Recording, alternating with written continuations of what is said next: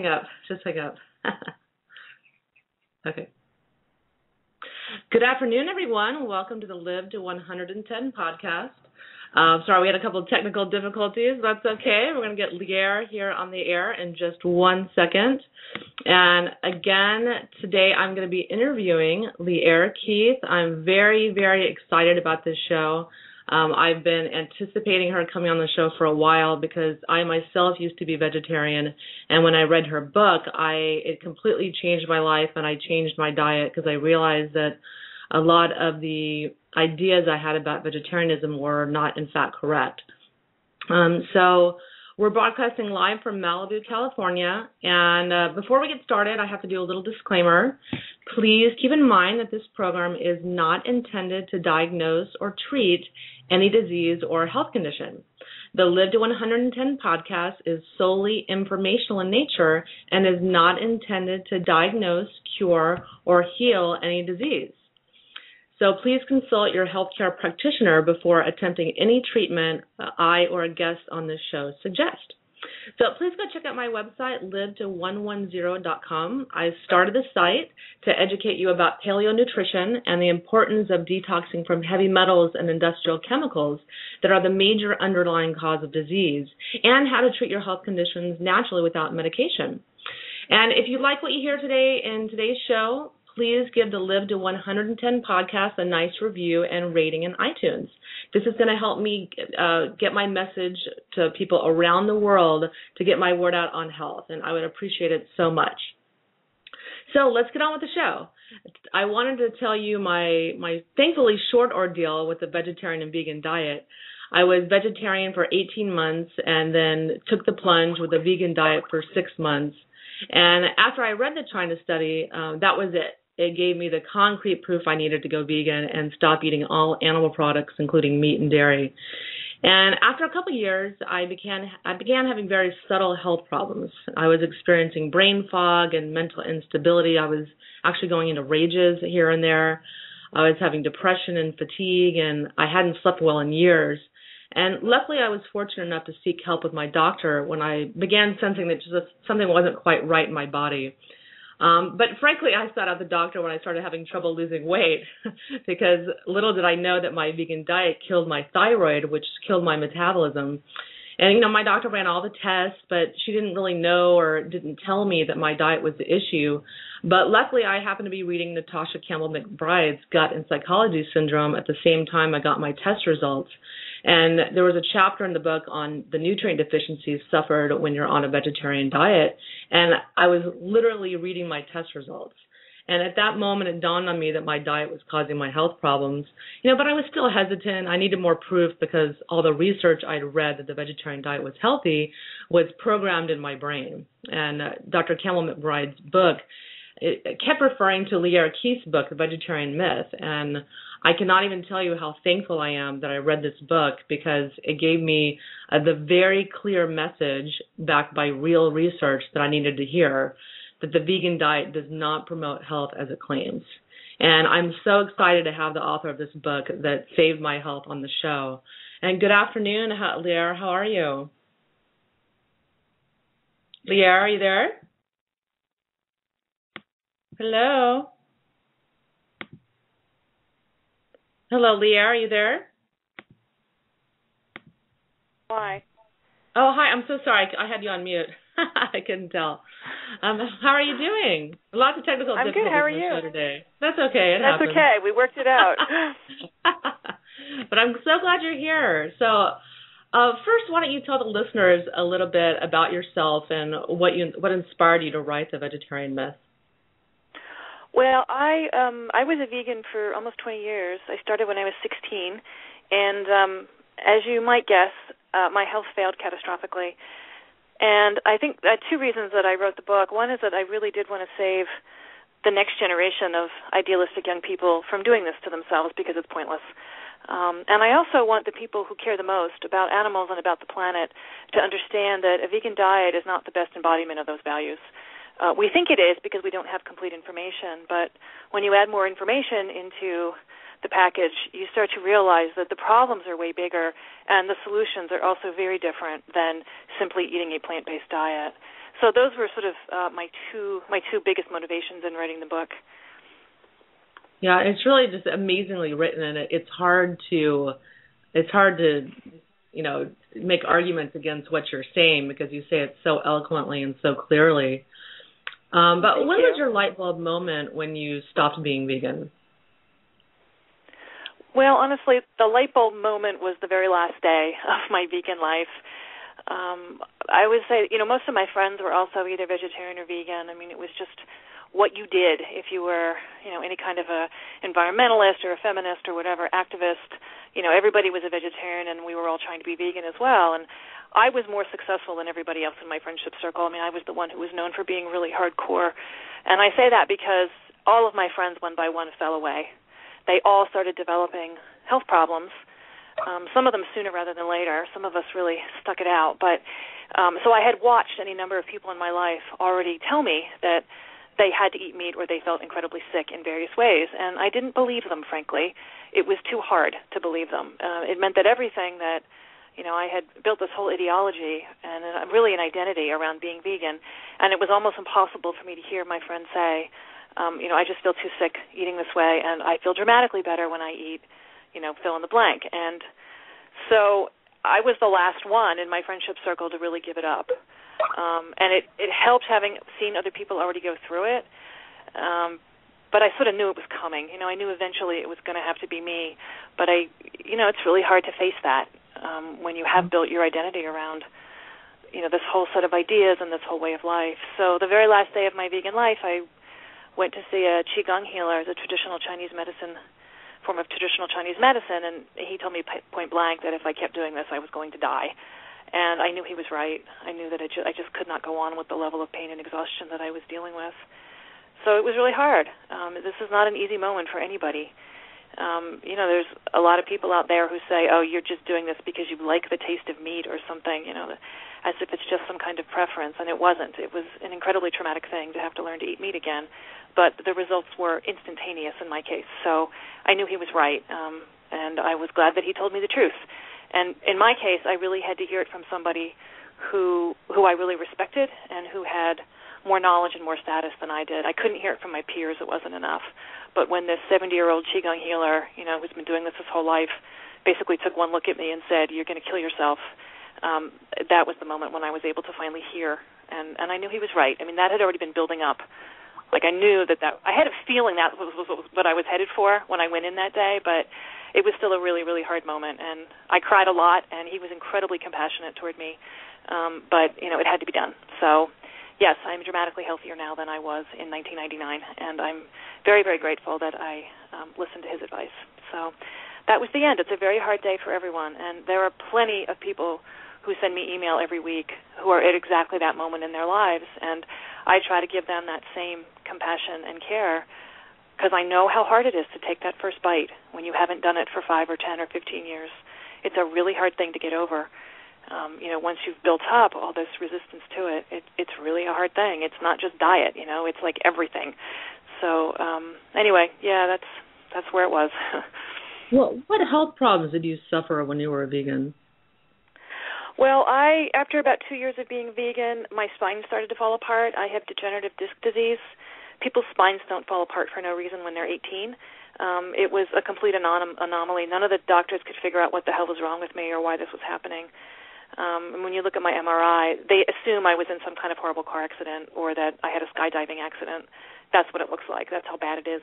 And the pain, you know, was just extraordinary. Um, so there was that that nobody could explain. Um, I stopped menstruating, which of course is very common among women who are either vegan or eat other kinds of low-fat diets.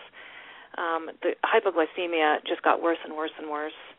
Um, I also developed an autoimmune disease. I have Hashimoto's, which was not diagnosed for years and years, but that clearly has a link to both soy and wheat wheat consumption. So I didn't do myself any favors with that. Um, you know, then I had the sort of usual low grade stuff that a lot a lot of vegans get so the horrible dry skin, the dry hair, um, the tremendous exhaustion, freezing cold all the time. I mean, all of that is part of Hashimoto's as well, but it sort of comes as a package.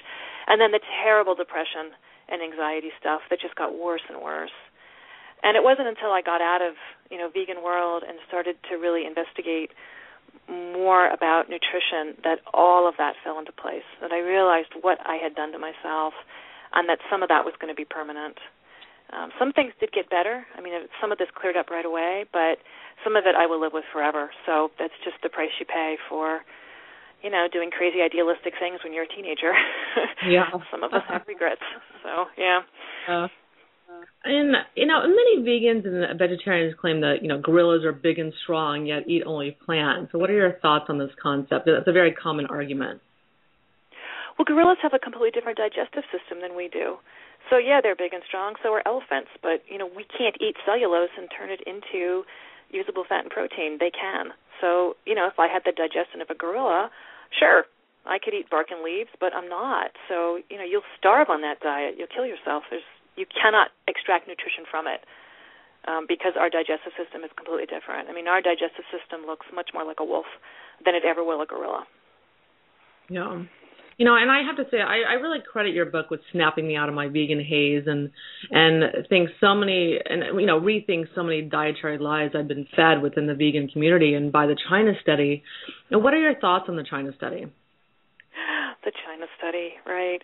Um, you know, the best takedown of the China study is actually Denise Minger, and I cannot possibly do uh, the kind of job on the China study that she did. And I would highly recommend everybody go and she's pages and pages. I mean, she spent three months um, just reading the China study and figuring out all kinds of things that were wrong with it. So some of the big problems with the China study, I'll try to be really brief, but um, you know, like one problem with these kinds of studies is that they take these broad populations and then you know you, you try to reduce the variables to one thing, and it really can't be done. So, for instance, you know, you'd say, oh, there's some kind of causality between the fact that these people have, you know, less kidney cancer, and what do you know, they eat this or this or this, and there's no way that you can make a causal, you know, argument between this one thing in their diet and the fact that they may have more or less cancer. Um, and the, so those kinds of studies are, are kind of useless. Um, they can sort of point you in, in some broad directions, but in order to, to draw any kind of conclusion from that, you'd have to isolate every single one of those variables and then actually do a study in a laboratory setting. And the China study is mostly that kind of broad-based silliness that, that does not actually tell us anything useful about the variables at work and what they may or may not produce in actual human beings. So that's like sort of, you know, in broad strokes what's going on. Um, but you know, he also he does some some very some real sleight of hand stuff like this this whole thing about well if you feed rats certain proteins then you know they may or may not get cancer. And you know the point is that those proteins don't ever exist in isolation in nature. So you're taking basically highly industrial highly industrialized extracts of food feeding them to rats and then seeing if it causes cancer. Well we already know that's going to cause cancer that doesn't exist in nature. Like, why would that make a healthy rat? So he's not really proving anything that we don't already know, because um, that's never going to happen in the real world, right? Um, you know, we don't eat isolated proteins, is- isolated amino acids in in nature. We eat full whatever it is we eat, whether it's meat or whether it's plants. You know, it comes with a whole co- cohort of different amino acids. So he's testing something that's never going to happen. Um, so that's like another big problem with it. Um, and you know, overall, I just, I, it's this. I mean, the China study was not a peer-reviewed study for that reason. None of this actually is how science is done, and a lot of people read it as if that's true, but they don't understand what science is, how an experiment is actually set up, and then, you know, what you may or may not draw from it. They think that because there may be some correlate correlations made, that somehow that's causality, and it, it simply isn't true. I mean, that's not how that's not how it works in science. So I would really recommend that people do a little more research, a little more reading into the China study and all its problems, and really try to understand what the scientific method is and how scientists actually do science. Because you'll see that Colin Campbell doesn't really stack up to any of that. Yeah, and I, I don't mean to keep harping about it, but you know, whenever I talk to someone who's vegetarian or vegan, they their go back is always the China study, but it's been refuted by you know scientists that aren't even in the nutrition world. It's just refuted on bad science grounds. And um, you know, and the basis of my conversion to veganism was to save my health. You know, so I, I could prevent all the dreaded diseases from which our country suffers. And do you think the vegan diet is the way to prevent disease, as the China study claims? No, um, very firmly no. the problem with the vegan diet is that well, there's two problems. One is that there are some substances that are you're going to get too many of those things, and then there's the deficiencies. There's some nutrition nutritional substances you need that you're never going to get or never going to get enough of. So you've got excess and then you've got deficiency, and neither of those are going to meet the needs of the human template. So I can get into specifics if you want, but just broadly speaking, that's the problem with the vegan diet. You've got excess and you've got deficiency both. Yeah. And, you know, and it really saddens me that many of the top-selling books on Amazon are books promoting the vegan diet by Joel Fuhrman, Neal Barnard, John Robbins, and others. And uh, why do you think the vegan diet is becoming so popular? I mean, it's such a joyless diet, and there's so many restrictions, so many things you can't eat. Yet people are somehow drawn to this way of eating. Uh, why do you think this is? And you know, are these books just playing on people's fears of avoiding disease? I think part of it is the disease factor. I'm speaking for myself. The one of the main reasons I did it was because I felt once I learned about factory farming, uh, it was really horrifying, and I didn't want anything to do with it. And I didn't know there were any other options. Also, being 16 year old and living in the suburbs, I didn't actually have any options. I mean, I had no way to get to a real farm or to grow my own food. So all I knew was that, you know, if you're eating animal products, you're eating a pile of torture. And that is generally true if you're eating factory farming. And I, I think everybody, no matter what side of this debate you're on, I think that's one conclusion we can at least all agree to that factory farming is really horrible and we need to stop it. And so that at least I think we can set aside. Yes, that's true. So then the question becomes, um, you know, what else is it that we are trying to avoid or trying to promote? And for me, you know, the animal cruelty thing was huge but also just death. You know, I thought that there was a way for my body, for my life to exist without the death of sentient creatures. And it seemed really obvious to me that when I looked on my dinner plate, there was either a dead thing or there was a pile of, you know, insensate salads essentially. So animals mattered and plants didn't. And that was the line I was going to draw. So if death was really the question, if the suffering of sentient beings was the problem, then it seemed the, the really the simple way to do that was simply to eat plants instead. Now there's a few problems with this. The first one being that agriculture is the most destructive thing people have done to the planet. I mean literally the number one thing.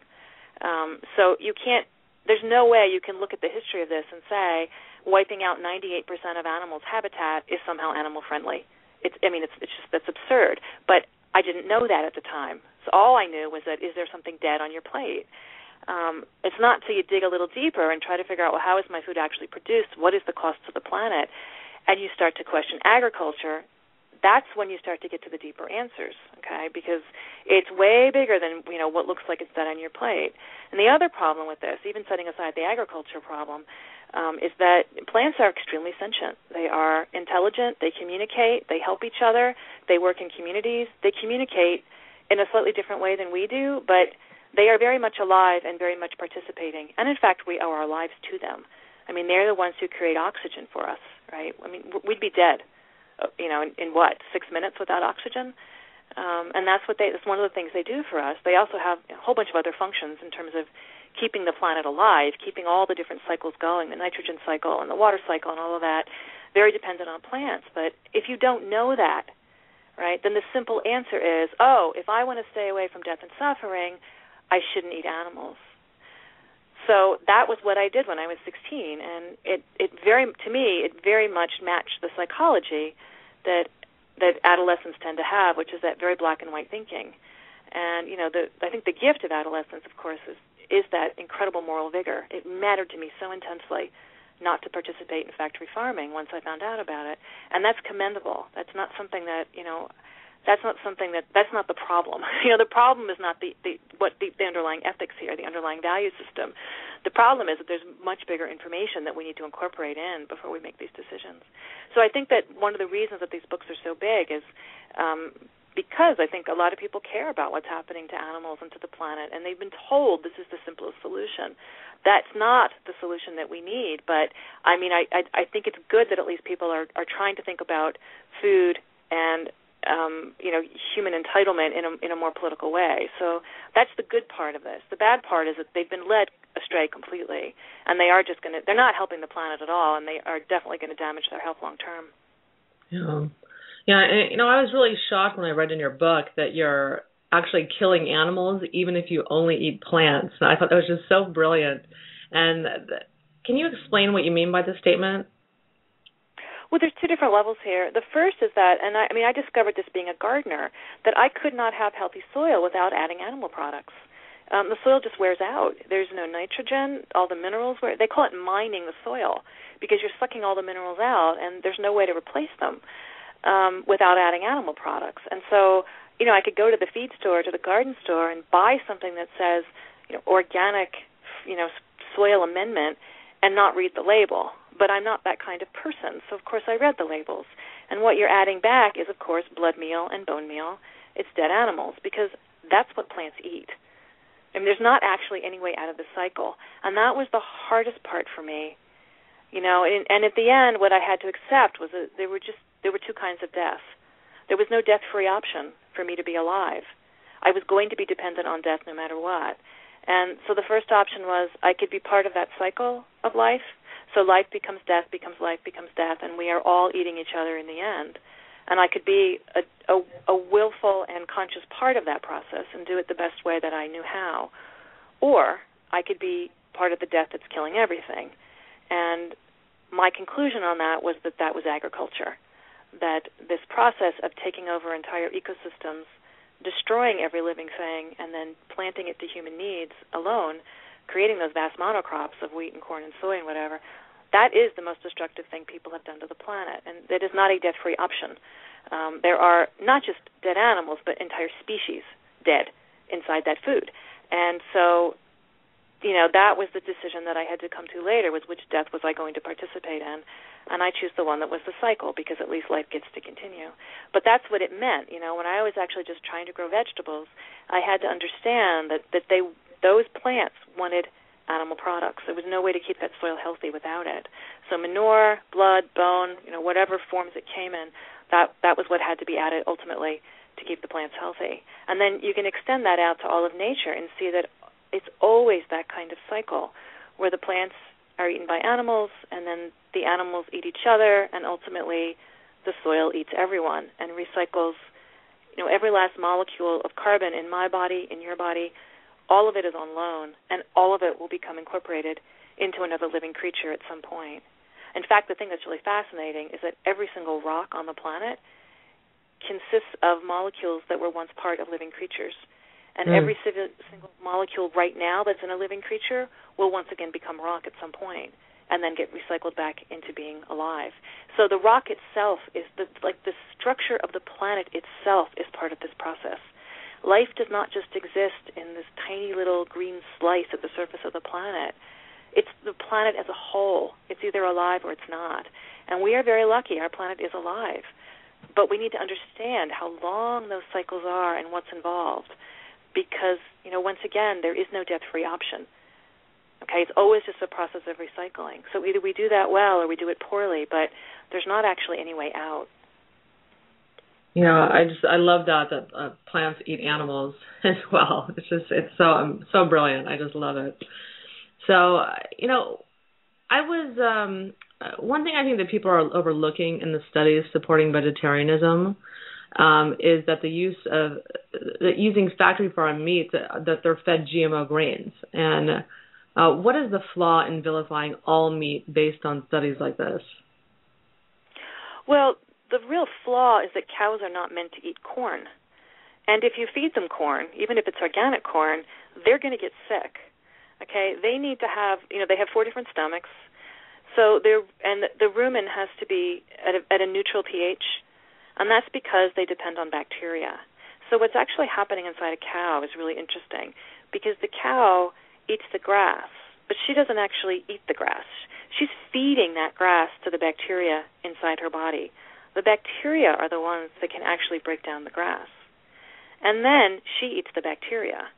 So it's this really brilliant thing where she takes very, very poor quality cellulose, you know, gets it inside her body by chewing and swallowing, and then the bacteria then break it down, and what she gets out of it is really high quality protein and fat from those dead bac- from the bacteria that she's then going to eat. And you know, it, at, are you going to say that one of these people is exploiting the other? Well, I suppose you could try to see it as a top-down power relation, but honestly, it's symbiotic. The bacteria get a good home. Um, they get carried around inside the safe environment of the cow. Um, the cow gets fed. You know, everybody has their moment. They are all also going to die at the end of the day. You know, sooner or later. So the bacteria will feed the cow, then the cow will die and feed the grass, then the grass will feed another cow into more bacteria. This is what I mean about that cycle. So they're all dependent on each other, and you know, as long as nothing disturbs that, it, it could go on for another 10 million years. The problem is that when you put corn inside that cow instead, now her rumen is way too acid because they're not meant to eat corn. You know, corn is not grass; it's very different. Um, so it's way too acid, and with that acid environment, a lot of the bacteria die because they need the neutral environment. So instead, you get problems like E. coli because that's one of the bacteria that can survive that high acid environment. So the cows are really sick. Um, that they actually end up with holes in their stomachs from the high acid, uh, which means they get blood poisoning. Um, pretty much every single cow that goes to slaughter out of a out of a, um, a feedlot has liver damage. Some of it's quite extreme, which means that of course their whole system has gone toxic. They can only survive, you know, 60 days, maybe 90 days tops in a feedlot because they are so sickened by it. So that's what you're eating if you eat factory farmed meat is a really sick animal. And so the problem with using, you know, factory farmed meat as the baseline for health studies is that it's really sick stuff. So number one, you've got all the you know all the terrible toxins that are floating around, but it also changes the amino acid profile of the meat, and it completely changes the fatty acid profile of the meat. So it changes it into substances that humans we've never eaten before. We've never eaten that that kind of that amino acid profile. Um, for instance, it's very low in tryptophan, and you know anybody who deals with depression knows tryptophan is the precursor to serotonin. And this is, I think, one of the reasons that we have this epidemic of depression right now um, across the United States is because of this factory farming, feeding them the corn. Corn is very low in tryptophan, and if you feed cows corn, um, their meat will be very low in tryptophan. So, and then you eat it, and you think you're going to feel happy, but you're not getting enough tryptophan. So there is no way for your brain to produce the serotonin that it needs without that building block of tryptophan. So that's just one example of what happens to people who eat factory farmed meat. You're not getting the amino acids that you need. You're not getting the the fatty acids, and for the fatty acids, of course, it's the omega three omega six balance. So I don't know if you want me to get more technical on that, but feeding them corn, believe me, throws it way off. And this is responsible for everything from you know Alzheimer's to asthma to um, you know, arthritis. It's the the uh, too high omega sixes are have been an absolute public health disaster in this country, and one of the main reasons, of course, is this, this grain feeding of cattle. So to use that as a baseline for these studies isn't really honest. I mean, if you want to prove that factory farming produces disease in people, sure, we can all agree to that, but that's not the only kind of meat that's out there. In fact, it's you know the worst possible thing, and and on every level, I think most caring people are against it. So we, we're not really proving anything we don't already know. Yeah, I'm hoping one day we'll have some studies comparing factory farm meat to grass-fed organic meat. Uh, but the only study I've been able to find on grass-fed meat is a study with the Amish. so they've got really much lower cancer rates and disease rates than the general population. Um, but let's talk about the vegan diet a little bit. Um, when someone's vegan, there's nothing left to eat except for vegetables, fruits, nuts, and grains. And uh, what is the problem with eating so many grains in the diet? Well, there's a few problems. Um, number one is that, I mean, you can call it complex carbohydrate if you want, but it's really just a pile of sugar. Uh, every single one of those so-called complex carbohydrates has to be broken down in your guts, and it will be, and absorbed as simple sugars because it's only the simplest molecules that are going to make it through you know, the barrier of your intestines, and so it has to be really small, so your body breaks it down. And so meal after meal after meal, you're eating a pile of sugar, and you are going to wear out your insulin receptors. And this is one of the main complaints that a lot of us who are you know sort of recovering vegetarians and vegans have is that we destroyed our insulin receptors. Um, you know, we were well on our way to diabetes, and some of us made it all the way there. And that's what happens when you eat that much carbohydrate day after day after day. The human body was never designed to handle that load of sugar, so you're going to wear it down.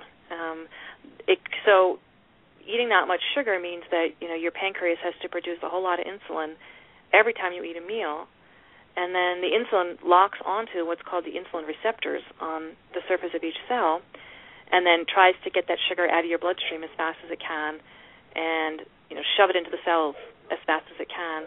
The reason being that your, especially your brain, can only function um, in a very, it's a very small range of blood sugar. If it's too much or too little, you can literally die, as any diabetic knows. So it's an emergency situation over and over, and it's three or four times a day you're doing this to yourself.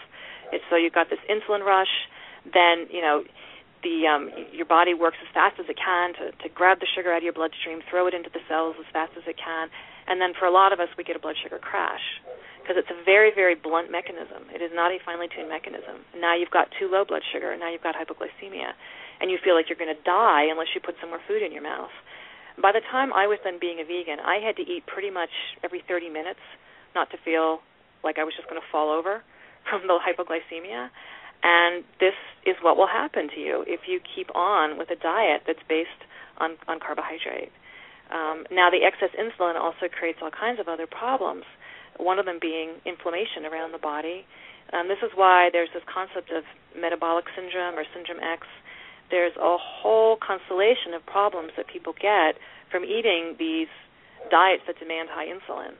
So that's high, heart disease, diabetes, the high blood pressure, um, and then of course that that you know center of the body obesity, the um, you know the belly fat. That is all created by um, these these high insulin diets, the high carbohydrate diets, um, and so it all comes as a picture. And so that's like the the main thing that's in excess. You've got a couple of other excess problems. One being the high omega sixes. Um, you on a on a vegan diet, there really aren't any good sources of omega threes, and you need both. Human beings cannot produce either. We need to eat both somehow in our diet, but they need to be a certain ratio. And there's some debate about whether that ratio is two to one, is it one to one. Anyway, it's it's something fairly low. But if all you're eating is grain or grain-fed meat, your omega sixes are going to be like 20 to 1. I mean, it's completely out of balance. And that will just wreak havoc, especially on your brain, um, on your ability to keep a stable mood state. It creates inflammation everywhere. Omega 6s are responsible for inflammation, and omega 3s are responsible for calming inflammation. And you need some inflammation in your body. I mean, you, you absolutely need some to break down, you know, dead cells, um, to repair infections and damage, all that kind of stuff. You're going to need some inflammation, but you don't need too much. That's the problem. So that's why the omega 3s and omega 6s have to be in balance. So when you're eating a uh, plants have a lot of omega 6s. So when you're eating a grain-based diet, that's that's what you've got is way too many omega 6s. So you're going to have all these inflammatory problems all over your body. Your joints are going to ache. Um, you know, you're going to have weird pain that nobody can explain. I, I think a lot of the people who come back with diagnoses, you know, that are not terribly specific, um, that that's really what's going on. Is it's just frankly too too high omega sixes in their diets. Um, and if they were to eat a more Paleolithic diet, you know, especially with grass-based animal products, you know, a lot of them find that it's it's immediately relieved. The pain is immediately relieved, and and I certainly found that to be true. And it doesn't take much uh, for me falling off the wagon uh, to to start to feel that level of pain again. So for some of us, it's very direct. I mean, if you do enough damage, you don't have a lot of leeway with this. Um, so that's the problems that are too many. Now you've got on the other side of the vegan diet the things you cannot get. So cholesterol. Cholesterol has been horribly demonized over the last 20 or 30 years, and there's really no reason for it. It's an incredibly life-giving substance. Every cell in your body requires cholesterol. It's like the balloon. It's like you know the the the, the basic structure of every cell is made out of cholesterol. So without cholesterol, you would literally be a liquid pile on the floor in about five seconds. Okay, you have no, to have cholesterol your, in your brain's 25% cholesterol or more than that. Yeah, it's you're, you it's like you need cholesterol for just about everything. Um, the the surfactant of the lungs, the very top layer of your lungs, is made out of you have to have saturated fat. You have to have some cholesterol for that to function because that's what it's made out of. Um, if you don't have enough, then you cannot do correct air exchanges. And this, I think, is one of the reasons that we have this tremendous epidemic of asthma among children. And I've seen this over and over again. Um, I know this is just anecdotal, but you know, when children with asthma stop eating this grain-based diet and switch to appropriate animal products as the base of their diet, the asthma is gone in a week or two. I've seen it with adults as well. Um, and these are people who have been on inhalers for 20 years and within six weeks of eating, you know, a, a more appropriate human diet, they can throw away their medication forever, and it's absolutely miraculous. Um, you know, also problems with the skin, like eczema, that as well can clear up almost overnight um, by eating and simply eating enough cholesterol. Um, so cholesterol is also the mother hormone. Um, all of your your hormones in your body are made from cholesterol. That's the basic building block, and that includes all your sex hormones. It's all your hormones. So you're not going to have you know the reproductive function that you might wish to have, you're certainly not going to have a sex drive. Um, you know, eating those low-fat, plant-based, vegan type diets is there's just no way for your body to produce appropriate sex hormones, and that's why so many vegan women, myself included, end up being, you know, with amenorrhea, where we just we simply stop having you know regular fertility cycles. Um, yeah. That didn't take long for me. That took maybe three weeks of eating appropriate food and I'm and I, in my story it was like I I almost never menstruated for that 20 years that I was a vegan, and I so then I went sort of cold turkey and went back to eating, you know, a more appropriate diet. Within three weeks, I got my period, and um, I haven't missed one since. So in my case, it could not have been more. I mean, it was just absolutely direct. It, it, the, the evidence could not have been more profound, and it was really scary to me to think, what had I done to myself? You know, that's 20 years of this. Like, that's a lot of damage. Yeah, so, they conveniently don't mention this in any of the vegan books. No, they don't. And a lot of women end up heartbroken. You know, my sister had to have a hysterectomy because she was a vegan as well, did the same kind of damage, ended up with endometriosis. And a lot of that is the soy as well, which we can talk about. But, you know, mm-hmm. so she ended up having an organ removed because it was so bad there was nothing else they could do for her. So, you know, that's no fun. Uh, nobody wants to lose an organ. Um, but this is this is the path down which you are treading um, if you decide to pursue this diet long term. So, okay, that's the cholesterol. Then there are some fat soluble vitamins. Um, again, we cannot make these vitamins. They're essential because we have to eat them. So, vitamin D, vitamin A, vitamin E, vitamin K2, you just can't get them from plants. Plants don't need them and they don't produce them. You've got to eat them. And without those vitamins, you know, your health will just degrade and degrade and degrade. You are on biological drawdown. Your body will cannibalize itself in search of those vitamins, and it will limp along as best as it can, but you're going to have health problems, and eventually those problems will be permanent. And that is the warning. You know, I, I mean, my life can really stand as you know a, a, a morality tale, essentially, to you know what will happen if you pursue this long term, because that's what happened to me. So those are the, some, some of, and, and then also there's minerals. You know, you're just not getting enough minerals. Um, and that's one reason that my discs fell apart in my spine was simply the lack of minerals. And even if you are getting high minerals from somewhere somehow, you're taking some kind of supplement. The problem with the grains is that I mean, it's hard to for a lot of people to accept this, but plants don't really want to be eaten either, and they have all kinds of ways to fight back. Now they don't have teeth and claws the way animals do, and they can't run the way animals do. But what they've done is they've become incredibly good at chemical warfare, and that's how they fight back. So one of the the substances that that seeds in particular produce is called uh, phytic acid or phytates. So when you consume them, what happens is the phytates bind with all the minerals in your digestive tract and just carry them out of your body. So you know it's the plant's way of saying you can eat me if you want, but you know you're going to get sick and die ultimately, and you're not going to have healthy offspring. So you know we're putting it into this the best way that we can. And so that's what phytates do. So if you're eating this this wonderful whole grain diet that we're all supposed to be eating, you don't realize what you're doing, but you're ingesting a whole bunch of anti-nutrients like phytates, and you're draining the minerals from your body every time you eat. And we again, we are not told this. Um, we're just told to eat, you know, however many servings, you know, 50,000 servings of grain every day, or whatever the hell the pyramid says. Um, you know, way too many of these things. Um, there are ways around it. You can try to pre-treat those grains so that they're a little more edible, but these are traditional sort of foodways that we have completely lost in this country. So if you're just eating whole wheat or whole rice or you know brown rice, whatever, just straight out of the bag, um, again, you're not doing yourself any favors. And um, would highly recommend looking into this further before you continue eating those kinds of things.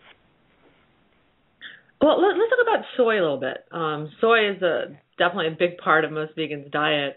And you know, because we've been told by the food industry for over a decade that soy is healthy, so many people believe that this is in fact true. So, what are your thoughts on soy? Soy is um, it's very cynical. You know what the marketers did with soy. There was actually a press, um, an internal memo that was you can find online that was released to the public, and you've got these marketers saying, look, if we can position soy as somehow connected to an upper middle class healthy green lifestyle, people will buy it. Because up to that point, soy was kind of a joke. I mean, I remember in the 70s all the jokes about whether or not there was soy in McDonald's hamburgers or Burger King or whatever that it was considered poverty food, it was considered you know, like barely edible that only people who were unintelligent or didn't have a choice would eat it okay? And they were able to turn that around using millions of dollars of marketing by buying ads in magazines like Yoga Journal or, you know, um, New Age Journal, um, the kinds of places where green, groovy people would see these ads of, you know, healthy, buoyant people riding their bikes and, you know, having beautiful middle class houses or whatever and they were able to sell it as a lifestyle that that soy meant all of that that it meant green and it meant healthy and it meant wonderful good peaceful things so everybody fell for it. The way that marketing works, you know, it's very manipulative stuff. So they were able to reposition soy as that. So now um, everybody believes that you know it cures heart disease and it won't cause cancer and it helps you with this and you know all these different health claims. One by one, all of those health claims have been disproved. Um, and for instance, the American Heart Association took away its original endorsement of soy as something that was heart healthy because it just didn't hold up in the laboratory. And places like the Cornell, the cancer lab at Cornell, have come out very strongly and said if you have a history of breast cancer in your family, do not ever eat this stuff. Um, other researchers have said things like these are drugs, not foods.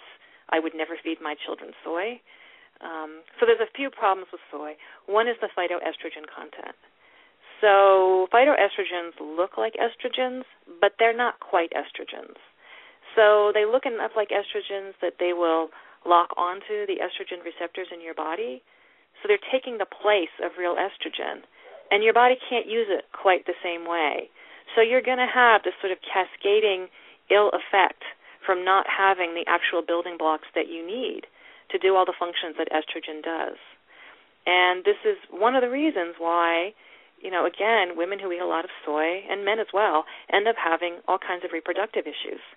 Um, it's the phytoestrogens. If you are feeding soy formula to an infant, that is an, the, a hormone load that's equivalent to feeding them four birth control pills a day. Now, nobody in their right mind is going to put their infant child on four birth control pills a day, but if you're feeding your child soy, that is what you are doing. And I hope the parents who are listening I mean, I hate to scare you, but I hope you're getting a chill of horror down the back of your neck because it's horrible what's happening to children out there. We have this absolute epidemic of precocious puberty in girls particularly, and this is one of the reasons is because the amount of soy that is in just everyday foods. And then you add to that, you know, all the soy milk that has been sold to us as something healthy, and people are bringing this home instead of real milk. Even juice would be better, frankly, than soy because of the phytoestrogen content. And so now you've got these these little girls at age five, six, seven entering puberty. It's horrible what it does to their bodies. I mean, it's just a, a lifetime of suffering. Um, and it's particularly true for African American girls. It's way higher rates of precocious puberty. And one of the reasons is if you're an African American woman who's on food stamps or WIC or food assistance, you cannot buy anything but soy for your baby. They won't let you buy milk based uh, formula. You have to have soy without a doctor's note. And so by default, a lot of these women have been forced into it, and they may not even know what the problems are. They may know, but they don't really have a choice. I mean, when you're poor, you're stuck, and that's one of the reasons that it, it's particularly high amongst African American girls. This is an experiment they are doing on the, the most poor and the most vulnerable in this country, and we need to be horrified by this. I mean, this is an experiment that the soy industry is doing on our public health, and that's who's paying the price. So I hope that people get outraged about um, this because it's horrible. It's just horrible what's happening out there. So you got the phytoestrogens. All right, we got that one. Um, a couple more problems with soy. One is that soy is a known goitrogen. It does terrible things to your thyroid. And of course, I sit here with my Hashimoto's disease, um, thinking about all the soy that I've eaten as a vegan, and look what I did. I ended up with the autoimmune disease of the thyroid. You will also notice that Hashimoto is a Japanese name. Um, and we're always told, oh, in Asia they eat so much soy and aren't they healthy? First of all, it's a lie. They don't eat all that much soy, maybe two tablespoons a day. They don't eat it as a protein replacement, that's for sure. Uh, number two, yeah, they have tremendous thyroid problems in Asia where they eat soy at all. And that's why Hashimoto is a Japanese name, and that's the disease that I've got. So again, don't let the marketers sell you on this one. It's not true. When they eat soy in Japan, it's eaten, it's heavily fermented, and that's for good reasons. Um, it will, when you ferment it, you actually do take out some of the anti-nutrients that are in soy. And then it's eaten with fish broth. And fish broth will do two things. It will replace some of the, the minerals that the soy is dragging out of your body, and it will also contain iodine, which will help support the, support the thyroid. So that is sort of you know insurance against the damage that the soy is doing. Now, how it is that traditional people figured all this out without microscopes, I don't know. But it's pretty amazing that the only way they eat soy is with kind of the antidote to soy. Um, and that's how it's eaten. And then they might put a little bit of tofu on top as a garnish. But they don't sit and eat these, you know, protein replacement, highly industrialized products, you know, as um, as a meal, as as we are being encouraged to do. So that's the the, uh, the thyroid thing. And then again, we get to the anti-nutrients. Soy has a pile of anti-nutrients in them. So it has trypsin inhibitors. Trypsin is a digestive enzyme that you need. This is why when a lot of people eat soy, they end up with extreme intestinal distress. And I mean up to and including like bloody stools and bloody diarrhea. And they don't know what's going on. They don't know why. Um, and I've seen this over and over as well. Even you know some of my intimates have had problems with this. They take the soy milk out of their diets, and within two days it's cleared up entirely. And you know this was one of the big you know, mis- they've gone to the doctor over and over, big mystery, barium, you know, swallow the barium, do the big test. Nobody, what is this bloody diarrhea? Where is it coming from? And then, oh, it was the soy all along. So that's the trypsin, and then you also have again the the high phytic acid content. So it's really hard to get enough minerals if you're eating soy, and that again, especially zinc, um, you'll be at risk for all kinds of problems, body and brain. So um, soy is really not an appropriate food for humans. It's not really an appropriate food for any animals. They've seen the same problems with lab animals. They've seen some of the same problems with farm animals. Um, I would just leave soy alone entirely. Yeah, and definitely, I've had problems with my own daughter when I was when I was vegetarian. I was eating lots of tofu, and you know, I started feeding it to my baby. But when she was about one years old, she started eating more solid food, and I started feeding her like every day. I gave her a little pile of tofu chunks, sometimes twice a day. And during that time, from one year to two year old, she did not progress developmentally. She was not progressing in her speech. And because it causes manganese toxicity, like young children, babies don't have the blood brain barrier to keep manganese out of their brain. And so it causes that toxicity. And I think there's a big problem with kids having developmental delays and lower IQs because of soy consumption. Um, it's but, a real you know, problem. Yeah. Yeah. Yeah. So and my daughter now has to be in a special school to get her caught up because in part it's partly because of soy and I, I just intuitively know that. Um, and definitely one thing is certain by the time you feel or experience nutrient deficiencies on these diets, you know, they're typically quite severe. And e- even then, many vegans and even vegetarians for that matter, they still cling to their diet and even going to their doctor trying to figure out why they're having health issues, but never questioning their diet. And the problem is most doctors don't know anything about nutrition and won't attribute one's health problems to being vegan. So um, if the doctor even asks our patient about their diet at all, So, you know, I know several people that have had so many health issues and undergo test after test, but refuse to think that their vegetarian or vegan diet is at the root of their health issues. And what do you think about this? It's absolutely true what you're saying. I think the average doctor gets 20 minutes of nutritional training in med school, which obviously is nowhere near adequate. Um, I mean, it's a joke. I don't even know why they bother. So you're going to go to the doctor. You're going to present these problems. I mean, I I don't couldn't even count how many doctors I had been to when I was a vegan. Not a single one of them ever asked me about my diet. So you know, the the people in charge of the profession don't even know it's a problem. So that's you know number one, and then number two, you know, when you take on these diets, it's so ideological, it's so intense that it's almost impossible to consider that the diet itself might not work. Um, I know how hard it was for me to have to face that. It was again one of the hardest things I ever did, and you know, as my sister said, well, you wanted God to be a just God, and you know, it seems like it should work. It seems like it's the answer to so many problems. So when your health starts to fail, it's like, how can this be possible? How can this peaceful, wonderful, nonviolent, animal-loving, earth-saving, you know, the second coming diet actually produce ill health, actually produce damage? This can't be true. Because if it's true, everything collapses, and I hate the universe. This is pretty much what I was left with. Um, and it's just, you know, it, it's really hard to face reality, right? So, yes, this is a problem, and it's one of the reasons that I hope people can kind of pry their ideology a little bit loose from their the rational part of their brain and just try to open up a little to bigger information. Um, because when you do that, when you start to research the bigger information, you're going to find all the people whose health has collapsed on this diet. And bit by bit, you can start to understand, you know, with your specific health health problems, what caused it the answers are really all there. There are, I don't think there are any mysteries left. Everything that I did to myself was ultimately explained when I learned more about nutrition.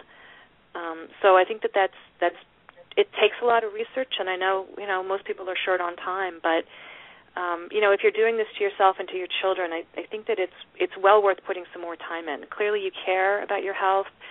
Um, it's worth asking those deeper questions and not getting stuck in any particular ideological box while you do that research because otherwise it's just confirmation bias. We all do it. You know, we look for the answers that we want and that will keep us comfortable. But if your health is starting to fail, yeah, it's not going to work. So. You know, when, when I post a blog post on about meat on Facebook, I get all the vegetarians in an uproar, and I, I hear so many people claim, you know, they're commenting on my post that they've been on a vegan diet for 10 or 15 years and they're glowing with health um, but I just have a hard time buying it because it, it just goes against our human physiology and our nutrient requirements, like you said. But do you think that there are outliers that can experience optimum health on a vegan diet, or are they just merely surviving? Um, yeah, I think there's a few things going on. One is that they're on drawdown, so their bodies were built on appropriate animal products. They were not born vegan. They had good, solid bodies because their mothers ate meat and dairy and eggs, and then they were fed those things as children, and now they're drawing down. And that can last a good long time. You know, if you give the human body enough calories, it will limp along for a good long time. It will do the best that it can, but they're on drawdown, and eventually the rubber will hit the road. Um, it might be in five years, it might be in ten years, but um, it's there's just it, it can't be done. You know, there's too many nutrients missing. So that's one thing. Um, another thing is that some of them are lying. Um, pretty much everybody cheats, especially the vegans. The vegetarians not so much. You're not so desperate for fat on the vegetarian diet. You're at least getting some appropriate fat, so some A and some vitamin D and all that. Um, so you're not as desperate. But as a vegan, I can guarantee you, you are starving every day, and you feel it. Um, and you don't know what the problem is. And then every once in a while, you'll fall off and eat a piece of cheese, or you know, eat your mother's whatever, macaroni and cheese. Um, and oh my God, do you feel better for half an hour? and then you feel like a terrible person, right? Because I've done this terrible thing, I've oppressed the poor cows, and on top of that, I enjoyed it. What the hell is wrong with me? And this is, I, I mean, you know, the the dark night of the soul. I can't tell you how many nights I spent just unable to understand what was wrong with me. Why had I done that? And then why did it make me feel so good? to the point where I knew eventually I would do it again. Um, but it flew in the face of everything I thought I believed. So it the, the, it just it doesn't make any sense. The cognitive dissonance is so extreme when you're a vegan for that reason. And I am somebody who, compared to most vegans, I cheated very little. I mean, I'm I had a, a willpower that was, um, you know, almost a force of nature on its own. So I would go years without, you know, any kind of slip. But that's not true for most vegans. And then when I did slip, it was almost impossible to stop because my God, your brain is so hungry, and it's like just this animal. The animal wants to live, you know, like your your brain, your biology is just like desperate for more, and that level of hunger, it's just, it's I mean, it's almost indescribable because you don't look like you're starving, right? It's not like you just walked out of a concentration camp. So where is this hunger? Where is it coming from? And it's not emotional. I mean, when you're experiencing it, you know that it's not this is not an emotional craving. It is just absolutely physical. But there's no explanation for it in vegan world. I mean, now I know. I was starving. I needed that fat. But at the time, it's just it's this complete mystery. You don't know where it comes from, why it's happening to you. All you know is that you feel dramatically better after eating the cheese or whatever it was you slipped on um, and then the next day you make another solid resolution that you're never going to do it again, and you might go a few months or a few years, but eventually it, it comes you, you do it again. Um, and so it's this just and it's this terrible body punishing, body hating kind of cycle too, which really plays into all the eating disorder stuff, and this very you know sort of puritanical just hatred for our physical embodiment, you know, and for pleasure in food and for caring for our bodies um, all of that gets wrapped up in there. So it gets very confusing for for a lot of us, particularly for women. Um, you know, living in this very you know the, the beauty standard that's just absolutely anorexic, and how much the female body is hated in this culture. You know, and so many of us are recovering from eating disorders. So all of that, it just becomes this really complicated, um, very confusing mess. Um, especially at three o'clock in the morning when you've just eaten two tablespoons of sour cream and feel better and don't know why. Um, but anyway, those people are not telling the truth, and they will keep saying, "I feel great, I feel great," until the very last day that they stop feeling great, um, because that's what I did. So I know, I know where their brains are at, and I and I know the kind of ideological defenses that they put up. But I have a tremendous amount of compassion because I know what is happening inside their bodies, and it's just a matter of time. Yeah. But do you think that vegetarians can be healthy? I think they've got a better shot at it, but again, it's still way too much carbohydrate and not good quality protein. And you know, you need that protein. Every cell in your body is built from protein from those amino acids. So it, it, it's you're going to fall apart in so many ways when you just don't have good basic protein three times a day. Your mood, you know, your muscles, your bones, just everything isn't going to work well. Your immune system um, is going to fall apart bit by bit. You can last longer as a vegetarian than you ever will as a vegan, but um, I think at the end of the day, you just have to face facts. And the thing about being a vegetarian too, which is why I never did it, is that it it doesn't even make any sense because in order to get the milk from the cow, you have to have a calf every year, and where that calf ends is you know as hamburger. Um, you, you know, it's just do the math on it. A, a cow cannot have a calf every year and be sustainable on a farm. You're going to run out of space and that's part of the cycle of a farm. You know, you have especially the males are totally excess, so they're slaughtered and they're eaten, and that's that's where you get meat from, and that's just part of life on a farm. It's the same with the chickens. You don't need all those roosters, so they're put in the stew pot, and um, you know that's that's how it goes. Um, there's the extras, so you're not going to get eggs without having dead chickens, and you're not going to have milk without having some hamburger along with it.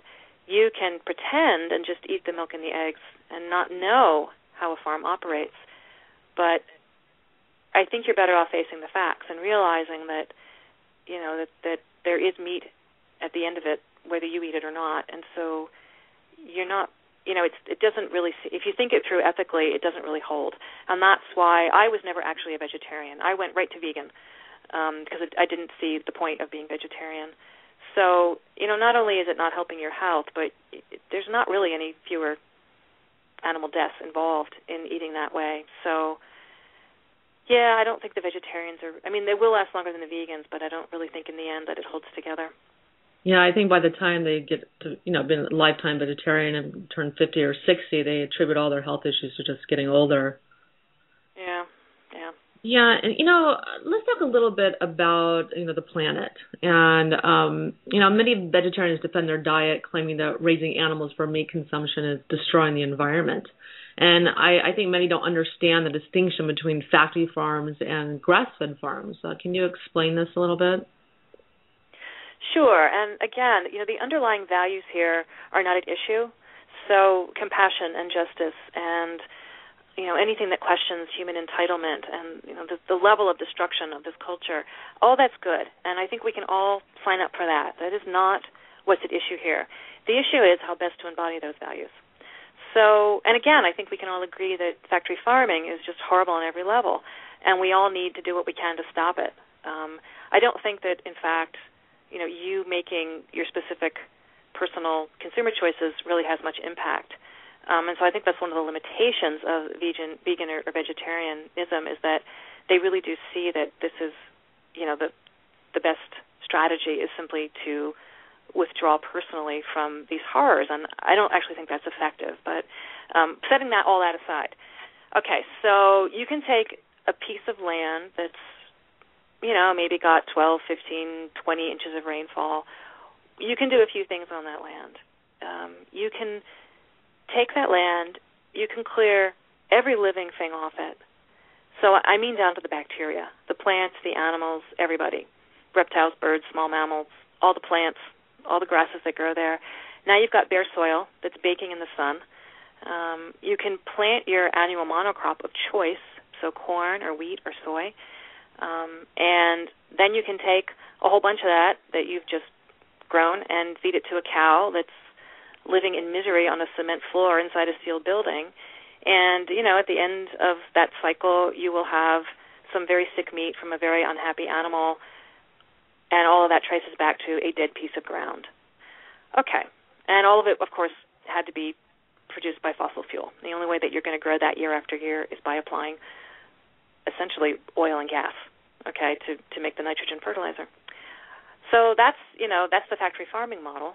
Um, you can take the cow out of it and simply eat the wheat or the soy or whatever on your own as as humans. The problem is that the land was still destroyed, so the plants and the animals were still removed. Were still removed. The um, bacteria is still dead. So the the ground, literally the soil, is coming to pieces every year that you do this because it's exposed. It has to be exposed to plant those giant seeds um, to get the wheat or the corn out of it. And every time you do that process, every time you put a plow to the soil, you're destroying that soil, you're degrading it. The only thing that protects and builds soil, of course, are perennial polycultures. So ultimately, either forests or prairies. And that is nature's model. You have animals integrated into either grasslands or forests or you know, savannas or wetlands or whatever, but you know, basically forests or grasslands. Um, so when you destroy all that, what you are destroying is not just that entire ecosystem of plants or trees or, or grasses what you're also destroying is the soil itself, and soil is the basis of life on Earth. So this is not a plan with a future, and in fact, we have skinned the planet alive. This we've come to the end now. By 1950, the major grain-growing regions of the world were completely out of soil, and what we have been eating ever since is oil and gas from the so-called Green Revolution. So the scientists figured out how to make usable nitrogen using a very energy-intensive process out of the feedstocks of gas and oil, and they produce nitrogen every year, and that is what you are eating if you are eating grain. You're eating oil on a stalk. Okay, I don't see what is better about feeding that to humans rather than feeding it to cows. I mean, it's the same process in the end, and it's just as destructive. Okay, that that the entire ecosystem has been destroyed, and the only thing that's keeping it going at this point is more fossil fuel. So to me, that's why this is a deeper question than just factory farming. It's agriculture itself, which is inherently destructive, and it's essentially carnivorous, and it's it's eaten the planet alive. I mean, there's there's no more soil left, and 98% of the old growth forests are gone. 99% of the world's grasslands are gone, and they have been destroyed for agriculture. Let's be quite clear. They've been completely, um, you know, eviscerated, so that human beings and it's just a very small number of humans. I mean, it, agriculture started in seven places around the globe, but it's marched its way around. Um, so now the entire world has been turned into as much of the land surface as possible has been turned into um, these annual monocrops. So that's the problem to me is that ultimately that's that's the baseline destruction that we're looking at. And that's what's going to have to stop if this planet has any hope. So, you have that 1 acre of land, you can destroy it in that way. You can grow a bunch of annual monocrops for a short period of time until the soil completely collapses. And you can either feed it to humans or to cows, it doesn't matter. The destruction is the same. We'll take that same acre of land and let's do something else with it. Let's leave it in the grasses that would like to grow there. Let's leave it in that complete biotic community that nature naturally produces. Now you've got a cow eating grass.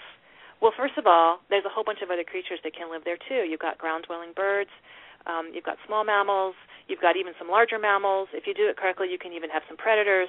Um, uh, you've got reptiles, you snakes, whatever, little, you know, whoever's there, they get to live there. Not only that, but because you've got perennial grasses, they've got these very deep root systems um, the water table will stay intact because of the roots. The water, the rainfall that falls, will actually be absorbed into the ground. Um, there, so there's like little tiny channels that the roots make, so that water can actually go down. It'll restore the water table, and then when it's needed, the, those deep these deeply rooted perennial grasses will pull the water back up and keep the entire community alive by doing that. And part of that community would be this ruminant, this cow, the bison, whoever it is that lives there. Um, and then she eats the grass, feeds it to her bacteria. Um, on grasslands in particular, ruminants are absolutely crucial because they're dry in the summer and all biological activity stops. There's not enough moisture. What keeps those nutrients cycling is the fact that inside that ruminant, the cow or the bison, there's bacteria, and they do that basic work of life. They break down that cellulose send it out the other end, and now life can continue because there's moisture and there's nutrients. Okay, and that's like the miracle of ruminants on grasslands is they keep it moving when there isn't enough moisture. So here you've got that same acre of ground. You've got life that continues season after season after season. You could come back in 10,000 years. The only thing different would be more topsoil, which is to say more life. And our role in that is we're apex predators. So like wolves and bears and eagles, um, we eat the animals that eat the cellulose. We cannot eat cellulose directly, but the bison can and the cows can, and then our role is to eat them and keep their numbers in check. And then ultimately somebody eats us, and we get returned to the soil as well. And that is how we lived for our first four million years on that uh, on this planet. We didn't destroy it. Um, it's only in the last ten thousand years that we've become these monsters. And the basic activity that turned us monstrous was agriculture, because it is the destruction of the planet. So that's a lot to throw on your reader on your listeners, but if people are interested in in understanding this deeper level, there are a lot of really great resources out there. I would highly recommend Richard Manning's work, for instance, his book Against the Grain. Um, another book is called Grasslands, and it's about exactly this: how agriculture has destroyed the world, what agriculture is, and they've got to understand this if they're going to understand what the destruction actually consists of, and then what we're going to do about it. Because if our planet has any hope, we're going to have to repair what we've destroyed. And that means at the end of the day, we're going to have to give up agriculture. And that is a hard thing to say without people looking at you like you're crazy, but it could be done. And I'm not actually sure we have a choice. It's really the only way we're going to get the carbon out of the air and back um, sequestered into the ground is through repairing the grasslands. So it's really the only hope our planet has. And that's the topic of your new book, isn't it? Can you tell us a little bit about that? Yeah, um, prairies are amazing places. Um, they, you know, most of the the biological activity actually happens underground where we can't see it, and it's just teeming with life under there. So the top of the, the surface of it may look like it's gone dormant because there's not a lot of rainfall, but underneath there's all this stuff still going on, and the plants are so deeply rooted that you know they can survive these long periods without rainfall. And that's really the difference between a prairie and, and a, a forest. A forest has more rain, so um, you get trees, but when there's no, when the, when the rain dries up, you get savanna, so there's a little bit of a tree, and then you finally get into the real prairies, and that's when there just simply isn't enough rainfall. Um, and you know, I've already discussed how the ruminants play a really crucial role in keeping keeping life moving. But my real take-home point with repairing the grasslands is that um, if we were to take even 75% of the world's destroyed grasslands, and let's be clear, they've been destroyed by agriculture, okay? But if we were to let them come back, let the grasslands come back, which is what would happen if we simply got out of the way, um, it would only take about 15 years, but we could sequester all of the carbon that's been released since the beginning of the industrial age. And that's an amazing thing. I mean, you've got all kinds of, you know, wacko scientists trying to figure out technological solutions to global warming involving sequestering carbon in deep caves under the earth and God knows what kind of industrial disasters are, you know, waiting to happen with that. But we don't need to do any of that. All we need to do is repair what we've destroyed, and the grasses will do it for us. And the reason they'll do it for us is because grasses are really good at one thing, and that is building soil. It's what they do. And the building block of that soil is carbon. So if we just let them come home again, okay, they've been removed from their homes. Let's be clear that agriculture is a war against the living world. But if we just let them come back, um, they will start doing their job again, which is to sequester carbon, to build soil. And that's all it would take 15 years. In fact, if we could restore um, to prairie all of the trashed out agricultural land essentially east of the Mississippi, within a year, the United States could be sequestering carbon instead of emitting it. And that's with everybody still driving their SUVs, you know, from here to hell.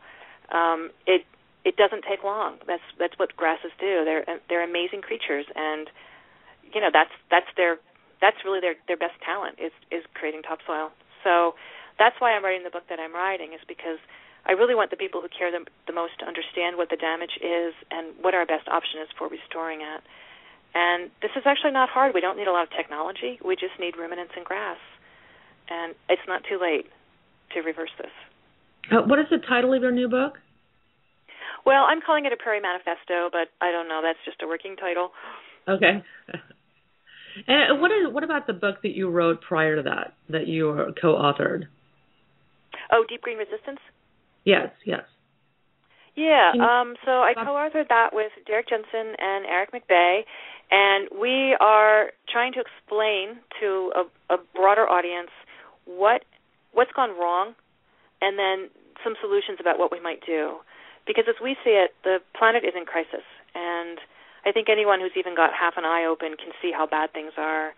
Um, every day, 200 species go extinct. That's pretty bad.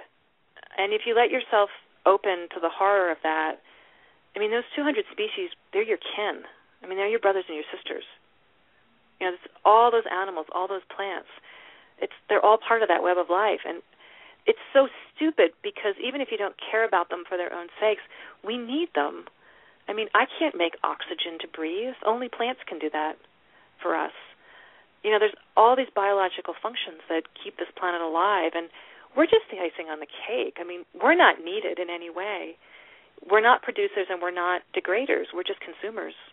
And without them, it's it's all over. And that's what we're destroying every single day. So, yeah, the planet has reached a crisis and there are tipping points that are being reached as we speak. So, you know, just for instance, as the polar ice caps melt, more and more of the land is exposed. And what that means is you know, ice is very reflective of sunlight. So a lot of the ice, the, the sun, the warmth that hits the ice bounces back into space. But the moment that you have patches of ground exposed, it absorbs. Okay, the, the, the dark ground absorbs the heat from the sun, and that means that it's even hotter now at the poles, which means that even more ice melts, which means even more dark ground is exposed, which means that it's hotter still. And these are these terrible cycles now around the world that the biologic biologically the planet is now on, where it's just going to keep accelerating worse and worse and worse. So we want people to try to absorb the horror of this because I think a lot of us are still in denial, and I think we're in denial because it's really scary and it's overwhelming, and as individuals we don't really know what we can do. Okay, so that's that's number one. And then number two, what are the political systems? What are the human arrangements that have brought us to this brink? Um, you know, there are scientists that are debating whether by the year 2050, you know, half the mammals may be extinct on this planet. That's in my lifetime. I mean, and half the mammals, I mean, elephants, polar bears, who are we talking about? Can we really picture a world without them? It's just just makes you want to lie down and weep. And there are some scientists debating whether by the year 2010, whether the planet is going to support life at all. Um, it may simply be too hot. I mean, it may have been the climate change may um, may be on such a runaway at this point that if we don't do something soon, it, it may reach that. You know, they talk about Venus as you know the the hallmark here that we're going to end up, you know, somewhere in that range where it just simply is too hot for life to continue. There may be some thermophilic bacteria at the bottom of the ocean, the ocean vents that can survive that, but I'm not going to call that a victory.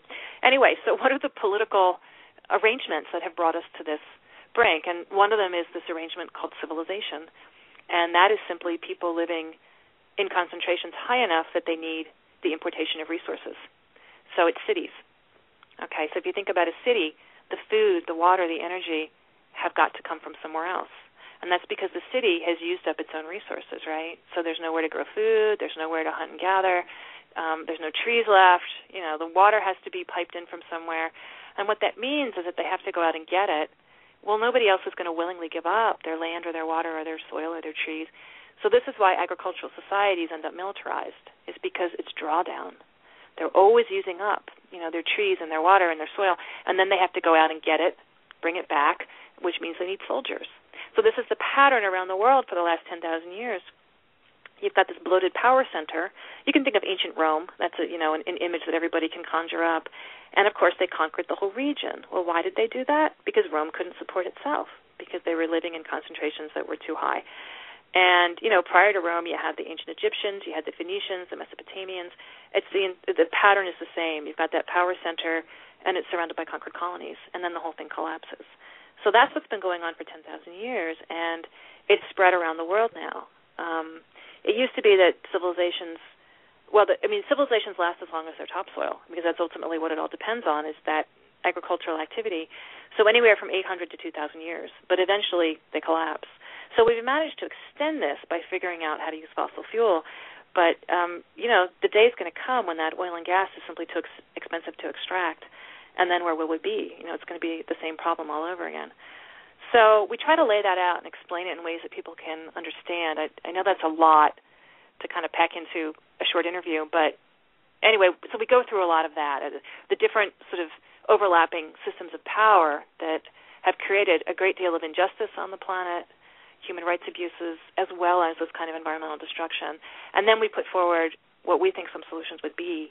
Um, none of them are easy, though. Um, I, there's not any way that we're going to consume our way out of this. So the idea that you might buy this instead of that is not really going to be adequate to face the level of crises and the level of institutional change that has to happen. But ultimately, I hope that people will get politically involved because it's really the only hope we have is to take back a, a real democracy. Um, so economic democracy, political democracy, uh, all of this is going to have to we're going to have to you know redo all of it to I mean the thing is that you know in order to save the planet we also have to save human rights. I mean that's the that's actually the positive part of this is that the only way any of this is going to happen is if um, we actually start to value the things that we should value, like justice, you know, like sustainability.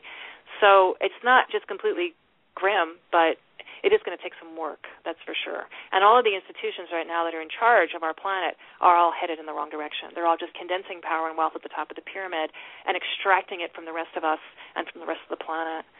So, gosh, that was kind of a long answer, but that's what the book is about. No, I love it. I love it. This is so well thought out. Just so ama- just such amazing information. Um, but well, I, I, just have one more question to ask, um, and I'm going to start asking this question to you know everyone that I interview. Uh, what do you think is the most pressing pressing health issue in our world today? Um, I would have to say global warming because 400,000 people have already died from it, and if anything kills every living being, that's what it's going to be. So if you care about anything, any living creature, children, dog, horse, garden, whatever it is you love, it's under assault. And right now, that is the biggest looming catastrophe um, that's coming down the pike. So, yeah, I mean, health in terms of life or death, it would have to be global warming. Yeah, I agree. Absolutely. So, where can someone find more info about you and what you're doing? What are you up to? Well, the the easy answer is, oh, just go to my website. But the reason that's kind of a joke is because I have a strange name, so you have to know how to spell my name. So it's L I E R R E is my first name. Lierre Keith at Yahoo. Um, sorry, LierreKeith.com is my my website. But you know, if you just type in vegetarian myth, which is the title of, of my book, you'll find me. There's only one person who wrote a book called that, so it might be easier just to if you can't remember, if you're driving your car and you just can't remember vegetarian myth, you will find me. Um, yeah, and you can go to my website and you can look at my books and you can listen to interviews and see me on YouTube and all that kind of good stuff. Um, that's probably the simplest thing. And you have a pretty rigorous speaking schedule too. I often do. Um, I was gone for weeks and weeks this summer, and it got, it got really exhausting. But I, I don't have anything really big set up now for a few months, which is good because I can just be home for a while. Well, Lierre, thank you so much for being on the show. You know, I can't read wait to read your new book, and it, sounds really, really compelling. And I just want to thank you for the important work that you're doing, because um, I know it's an uphill battle, and I know that you deal with a lot of mudslinging to get your message out there. So thank you for fighting this battle and to inform people about how to truly take control of their health and save the planet. Thank you so much. Well, you're really welcome, and I want to thank you back because it's so much work putting out a podcast, and it's kind of thankless. You know, it's not like you're getting paid.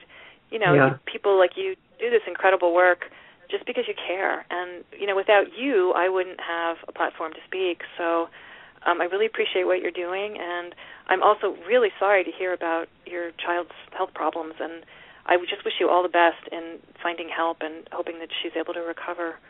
Well, thank you. Yeah, she's doing really, really well, so I'm confident she'll she'll be better. I just uh, thankfully I just wasn't vegan when I was pregnant. I ate meat and liver and yeah. eggs and caviar and all kinds of healthy things, so she's healthy in that Very regard. Good. But Very uh, but Jan, thank you so much for being on the show, and I Thank definitely you. would love to have you on again as a guest. So it was amazing. So thank you. Thank you, Wendy. Okay. Okay.